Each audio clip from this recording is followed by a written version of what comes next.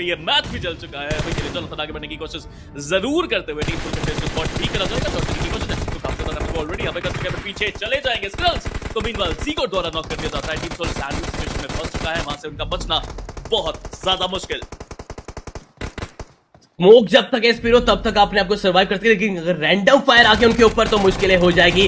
Johnson भी देखिए random fire उनके ऊपर करते नज़र है। ओमेगा के ऊपर भी चल रहा है लेकिन ना केवल ओमेगा वहाँ पर उनके साथी खिलाड़ी भी यहाँ पर उनके ऊपर वो रैंडम फायर करते और फंसेंगे। रीलोड का जैसे समय आता है वहाँ पर बस ऑडियो सुना जाता है Oh, ओमेगा द्वारा। अभी कोशिश की जा रही है उनके द्वारा। एक के बाद एक नॉकआउट निकालते हो लेकिन क्या हैदराबाद हाइड्रास इस चीज़ का फ़ायदा उठा क्योंकि उन्होंने फिनिश स्पीड में नाम पढ़ लिए है।